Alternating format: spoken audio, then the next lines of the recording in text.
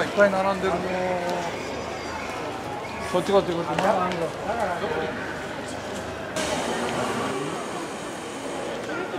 今日すっげえ混雑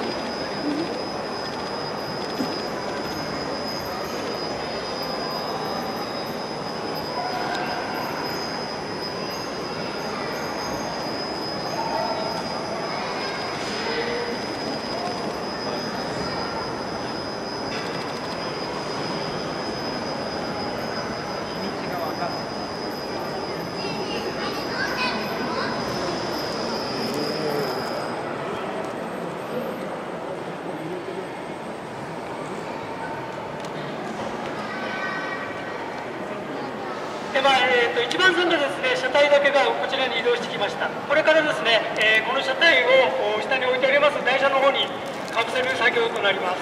えー皆さんとあの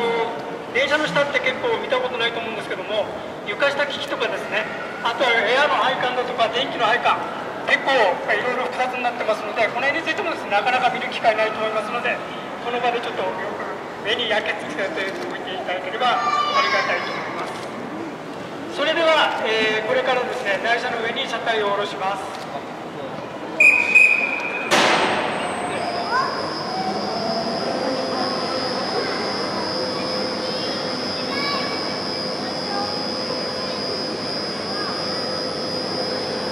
ちょっと見づらいんですけども車体のですね、えー台車の上あたりに、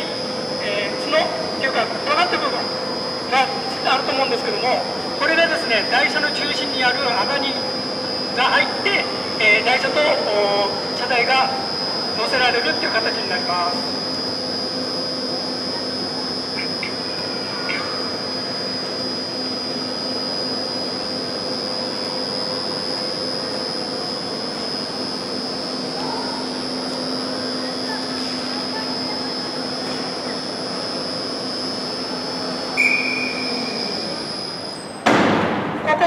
ですねクレーンをゆっくり下げていきながらそして作業者の方がですねもしあのバールというものを使ってですね、えー台車を動かしながら、えーその角がですね、えー中心に入るように、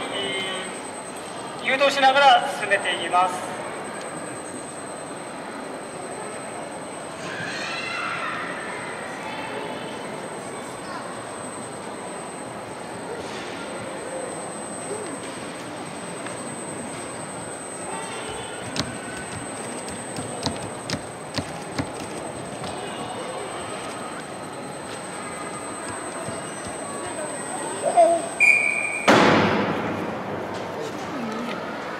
本来ですと、えーこのままですね車体を台車の上に乗せて、えクレーンを持ち上げてですね、えー完了という形になるんですけども本日は申し訳ないんですけどもこの場で終了させていただきます。でこの後ですねもう一度持ち上げて元の位置にちょっと戻すっていう作業になりますのでこの辺についてはちょっとご承知をご了承願いたいと思います。